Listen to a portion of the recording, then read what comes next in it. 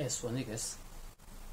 Nik uste dut, e, gauzak ondo egiten balin badie, e, alderdi espainolisten joera berantzako izango dela.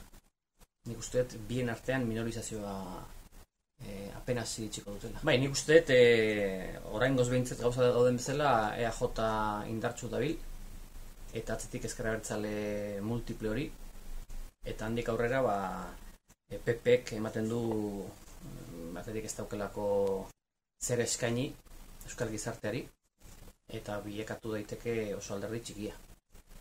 Eta peso, pese, ba, pesek e, ikusi egin beharko da, ze hausnarketa egiten duten hauteskundetarik.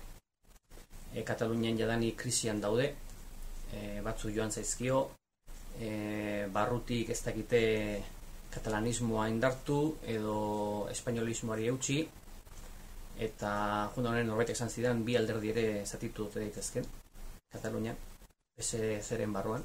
Ez da nik ez da inbeste zagutzen baino hemengo PSOE kere gogota bat egin barko du.